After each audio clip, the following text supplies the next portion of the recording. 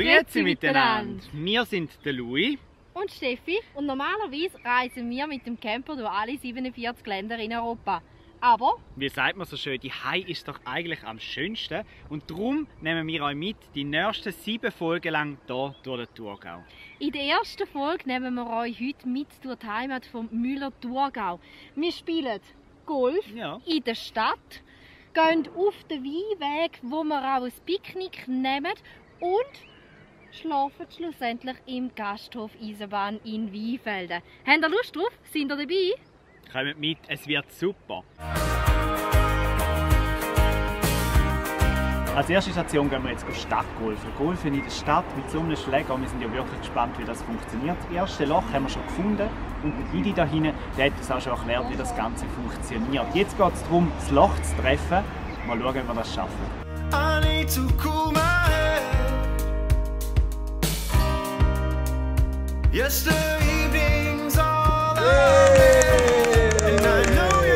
Also so einfach ist das Ganze nicht, oder?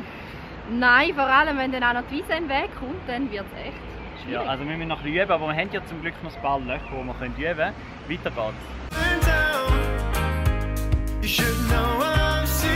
Jetzt wechseln wir vom Stadtgolf zum Urban Golf. Und was da genau der Unterschied ist, das erklärt uns nachher der Didi.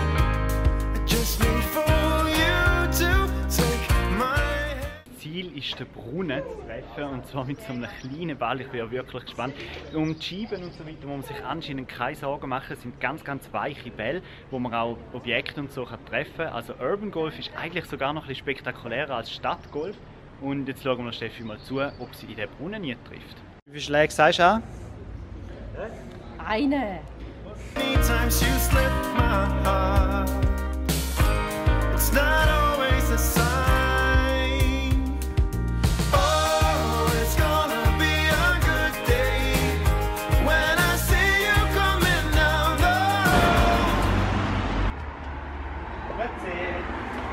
Im Schlaraffenland in Frauenfeld in der Vorstadt. Und jetzt sind wir mal gespannt, was es hier alles gibt. Ich sehe schon ganz viele Leckereien aus dem Thurgau. Schlaraffenland steht ja für Genuss aus dem Thurgau. Und ich sehe schon viel Honig aus der Region. Öpfelringe vom Schloss Herderen. Ich glaube, dort gehen wir die Woche auch noch vorbei. Dann sehen wir das noch. Heute mit Fruchtstück Gottlieberhütte. Die könnt ihr euch auch merken. Unsere Tour die heisst mit Genuss durch den Thurgau. Da passt das Lädeli natürlich optimal dazu. Sagen wir fragen mal den Profi, was es da in alles gibt. Grüezi! Sie sind da die Chefin vom Schlaraffenland. Also ich mache jetzt gerade Ferienablösung. Normal okay. ist unsere Tochter hier der Chef. Ja. Wir bewegen uns im Schlaraffenland. Das ist ja so ein Ausdruck. Wie schafft sie sich in einem Schlaraffenland? Ja, es ist immer ein bisschen Versuchung. Mit Süßem oder Salzigem, was man in Lehrer hat. Ja. Was sind denn so die Spezialitäten oder was macht das Lädeli aus? Was? Also wir versuchen hier einfach die, die, die feinsten Sachen anzubieten und sie nachher so zu präsentieren, dass die Leute einfach Lust haben zu kaufen. Wir sind vor allem äh, werden wir angesteuert. Leute, die etwas suchen zum Mitbringen ja. für einen Geburtstag. Äh, Muttertag war auch ein Thema. Gewesen. Natürlich haben wir es dann wieder sehr streng vor der Weihnacht, wenn alle gerne ja. Geschenke machen. Können Sie mir mal zeigen, was ist so eine Lieblingssache, was die Leute so holen? Ja, also wir haben hier so Chutneys. Die macht äh, eine Firma von Rotenhausen. Ja. Der Chef ist ein Inder. Okay, das ist Gurinder, oder? Gurinder, genau, genau Gurinder. Etwas, ja. Und er macht einfach äh, spezielle Sachen, weil er halt aus der indischen Küche andere Gewürze nimmt. Ja. Und das ist also für uns ganz etwas Fremdländisches und Pfiffiges. Ja. Aber es ist sehr bewährt. Ihr seht eine wahnsinnige Vielfalt hier im Schlaraffenland. Wenn ihr also mal etwas aus dem Thurgau verschenken oder selber mal eine Spezialität aus dem Thurgau probieren am gescheitsten in die Vorstadt im Fraufeld ist Schlaraffenland. So, und jetzt spielen wir weiter. Wir sind am nächsten Loch angekommen, im Lindenpark in Frauenfeld. Jetzt geht es darum, ein auf eine weitere Distanz den Ball ins Loch zu treffen. Ich bin auch mega gespannt, ob es jetzt schon besser funktioniert. Das macht auf jeden Fall einen heiden Spaß.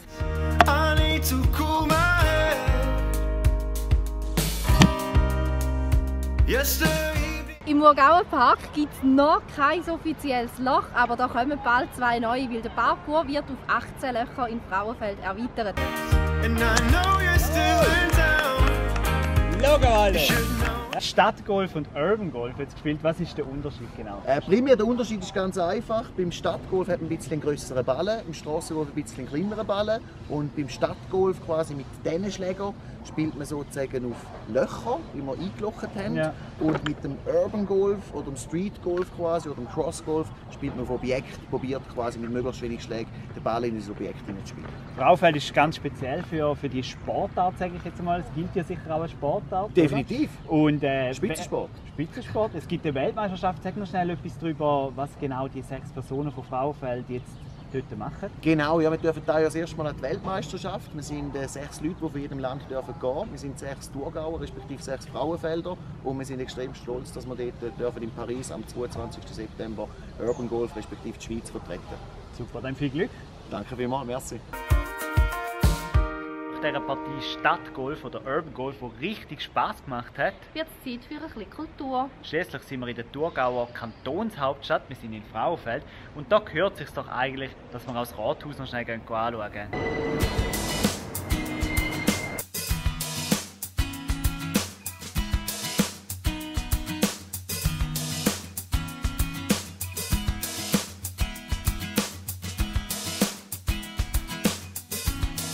Im Thurgau ist etwas ganz Spezielles. So tut der grosse Rat nicht nur an einem Ort tagen. Im Sommerhalbjahr ist er hier im Frauenfeld und im Winter dann in Weinfelden. Das schauen wir später von außen an. ganz spannende Führung durch das Rathaus. Das steckt viel mehr dahinter, als wir eigentlich gedacht hätten. Man meint ja immer, wenn man von Frauenfeld oder aus der Region ist, dass man alles so ein bisschen kennt. Aber wir haben jetzt doch in den letzten paar Minuten ein paar ganz spezielle gelernt. Sachen erfahren. Das ist einfach so speziell und hat so einen geschichtlichen Hintergrund, dass es da sogar eine eigene Stadtführung gibt. Andrea hat uns jetzt da in den letzten Minuten umgeführt. Danke vielmals für das. Und wir schlendern jetzt noch weiter ein bisschen und zeigen euch noch ein paar Bilder, wie es hier das Frauenfeld aussieht. Jetzt geht es weiter auf Weinfelden. Und schon sind wir zu Weinfelden angekommen und stehen jetzt hier vor dem Rathaus. Wir haben euch von dem ja in Frauenfeld vorher erzählt, wegen dem grossen Rad. Aber um da geht es ja jetzt eigentlich gar nicht. Wir sind schon am Bahnhof, gewesen, haben unsere Rucksäckchen für den Weinweg abgeholt und gehen jetzt auf die Spuren von eben genau dem Wein hier.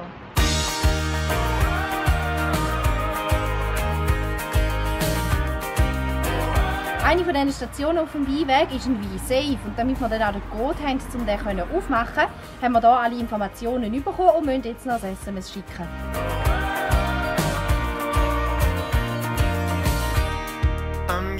Sehen wir die die ganze Zeit schon arbeiten im Rebberg. Jetzt wollen wir mal wissen, was es macht. Grüezi wohl. Ja, hallo miteinander. Was gibt es denn jetzt schon zu tun im Rebberg? Ah, ja, im Moment tun wir die überzähligen Triebe weg ähm, regulieren, die Menge, damit wir die Qualität hoch halten Ah, dann nimmt man die Triebe weg, damit es weniger, dafür ja, bessere Trauben genau, gibt? Genau, die, die doppelt sind oder die, die, die so kümmerlich sind, so ein kleines Geschmäuster. Da gibt nichts Schlaues mehr. Ah, okay. Genau. Bei euch kann man doch manchmal sowieso helfen. Ja. Aber im Herbst ist das dann, oder? Im Herbst bei den Weiles, genau. Ähm, ja, für spontane Leute ist das immer eine lässige Erfahrung ähm, wenn sie bereit sind, wenn ihr mal vorher anrufen und am nächsten Tag haben sie Zeit. Dann meldet man sich sozusagen vorher an. Genau. Sie haben die Telefonnummer, geben das Telefon, man ist soweit. Genau. Und dann kann man helfen. Genau, ja. So, danke vielmals für den Einblick. Für uns geht es jetzt weiter am Weinweg entlang. Eigentlich haben wir beim Rebgut Sonnenhalten nur schnell fragen, was sie hier gerade am Arbeiten sind. Und jetzt hat uns die liebe Dame Glasse versprochen. Und wer kann bei einer Glasse bei diesen Temperaturen Nein sagen? So sind Mir sicher nicht. So sind es halt die Thurgauer. So sieht denn das aus. Aber nicht nur das ist super, sondern vor allem das. Wobei wir haben ja gerade gelernt, es ist schlecht Wetter. Man sieht nicht mehr Berge. Ja, anscheinend, wenn man da schlecht Wetter. Berge sieht, ist schlecht Wetter. Für uns ist es aber hammerschön. Reaching for the so eine Wanderung bei so schönem Wetter macht nicht nur hungrig, sondern natürlich auf dem Weinweg auch durstig. Höchste Zeit, dass wir uns mal ein bisschen pflegen.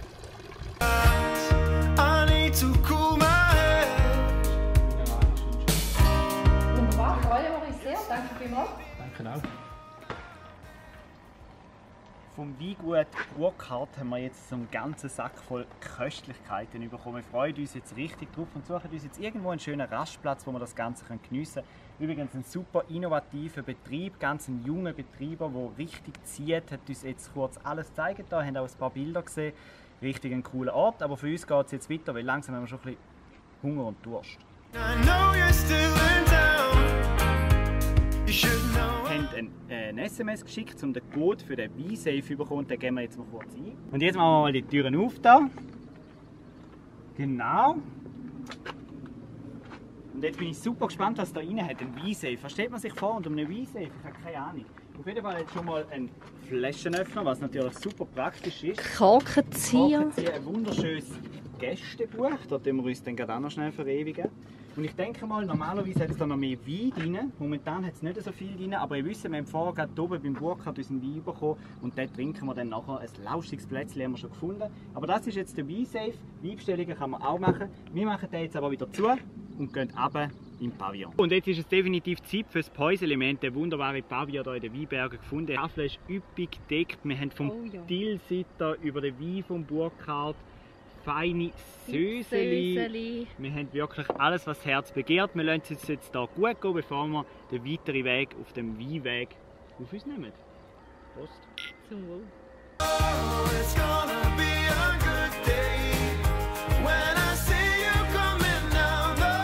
Einfach nur herrlich. So ein Picknick inmitten der Weinberge. Es gibt doch einfach wirklich fast nichts Schöneres. Und wissen aber besonders schön ist, wenn man auch als Thurgauer, wenn man hier die ist, einmal den eigenen Kanton kann erkunden kann.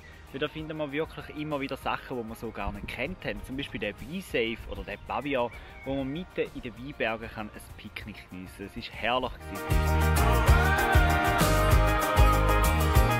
Weg haben wir schon fast geschafft. Wir mussten ihn ein bisschen abkürzen, weil wir überall von diesen lieben Leuten eingeladen worden sind.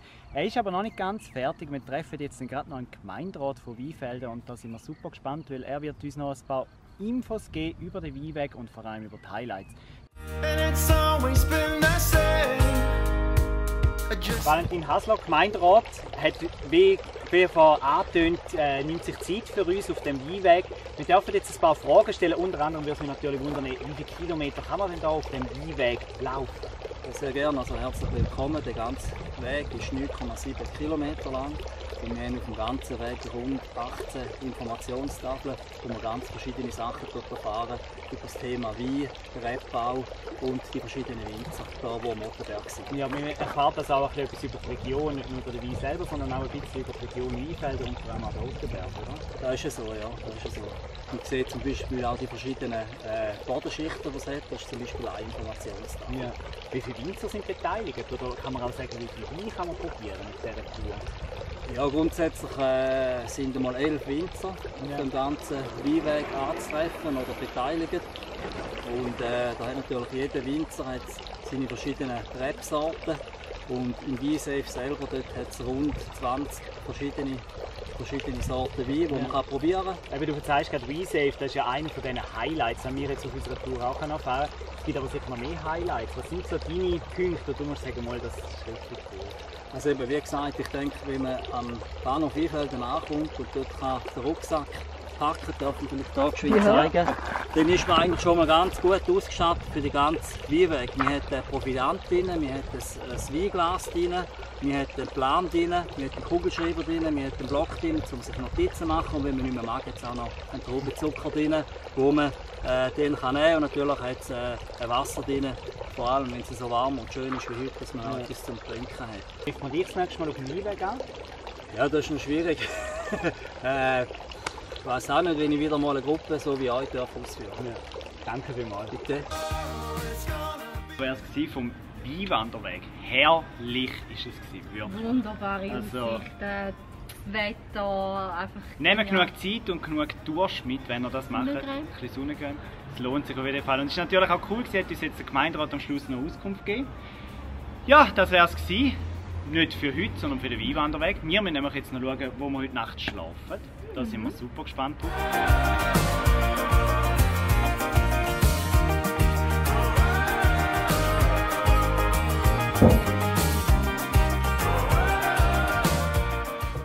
Haben sie uns heute aber wirklich das Schmuckstück von einem Zimmer gegeben, im Eisenbändli. Wie gerade beim Bahnhof in Weinfeld. Steffi zeigt euch da mal schnell, wie das aussieht. Hier.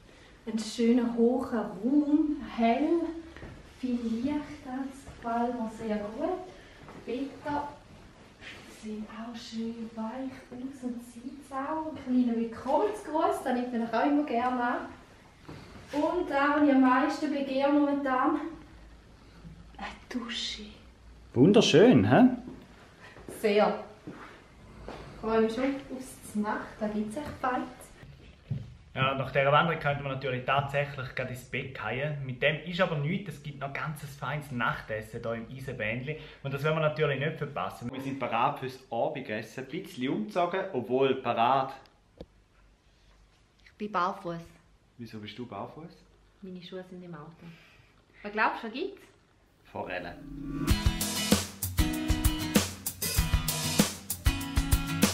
Wenn wir ja heute schon den ganzen Tag durch Müller-Thurgau Land gelaufen sind, dann gehört natürlich auch ein Müller-Thurgau auf den Tisch zur Nacht.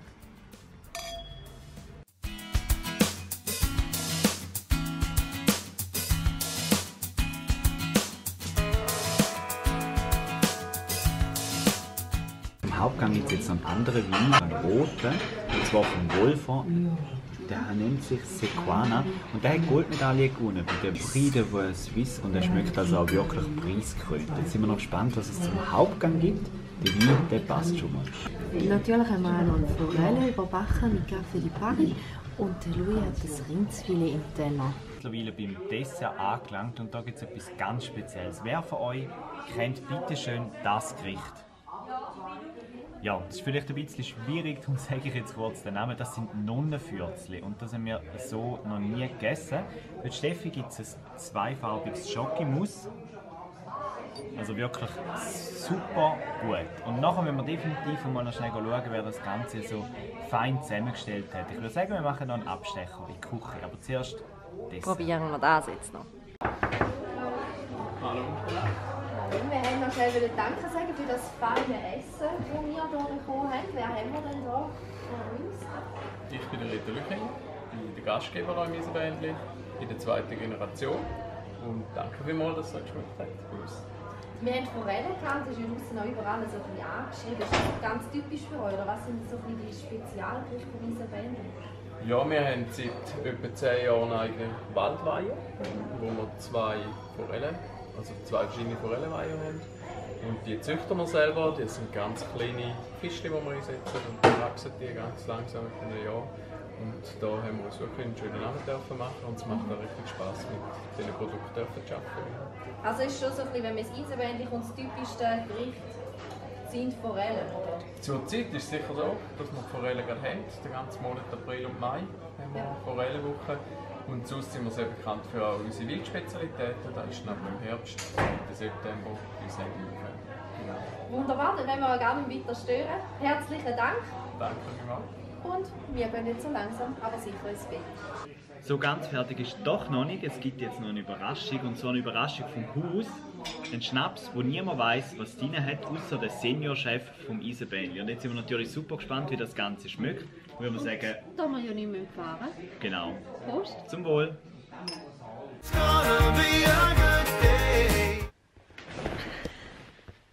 So, da wäre es definitiv gewesen von der ersten Folge durch den Thurgau. Ein wunderschöner Tag, aber auch ein bisschen streng. Ja, es ist definitiv streng gewesen, aber nach dem super letzten Gespräch mit dem Reto, dem Chef da vom Eisenbändli, sind wir jetzt wirklich fällig fürs Bett. Und dann sehen wir uns in der nächsten Folge wieder. Genau.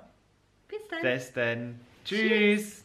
Alle Videos zu unserer Thurgauer Genusswoche findet ihr hier unten in dieser Playlist. Abonnieren könnt ihr unseren Kanal hier. Und zum Schluss gibt es auch noch einen Wettbewerb. Wenn ihr nämlich einen Gutschein für einen Thurgauer Geschenksaras gewinnen wollt, dann findet ihr alle Informationen da oben. Achtet euch auf Buchstaben und viel Glück!